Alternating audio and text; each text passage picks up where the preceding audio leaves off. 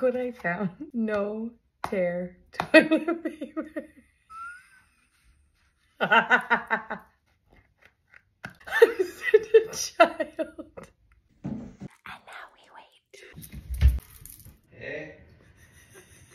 Hey. I know you're just hanging out. I'm just doing my makeup. You're gonna do it on these scrolls of Egypt? What are you talking This again. I'm just gonna start throwing things. Stealing someone's toilet paper is like the lowest form. Yeah, I gave you toilet paper. I don't know what that was. Something from the hospital you brought. Like Just- bandage people whose legs are falling off in war. Just one ply, you're not it's used not to one it. ply, 17 ply. no. It's like using a t-shirt on your anus. Give.